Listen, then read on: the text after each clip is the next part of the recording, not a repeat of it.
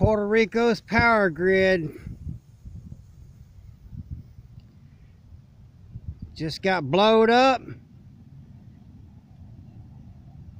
due to a cyber hack. It's hot over there.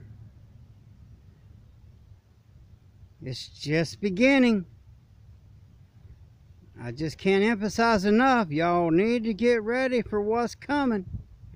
The ship is sinking and the band is still playing.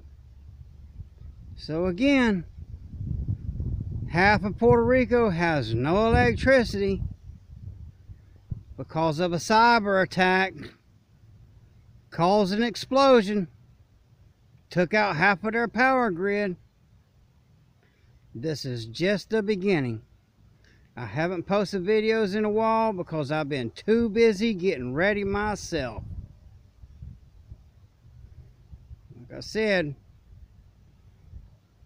it has begun it's only going to get worse I'm not fear mongering that's really why I haven't posted a video in a while because there is just so much going on.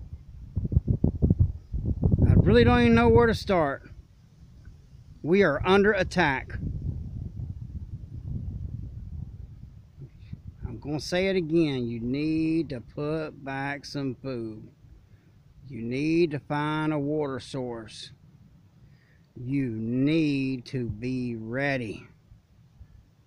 With that, this is the All American Prepper. Stay ready and have a blessed day.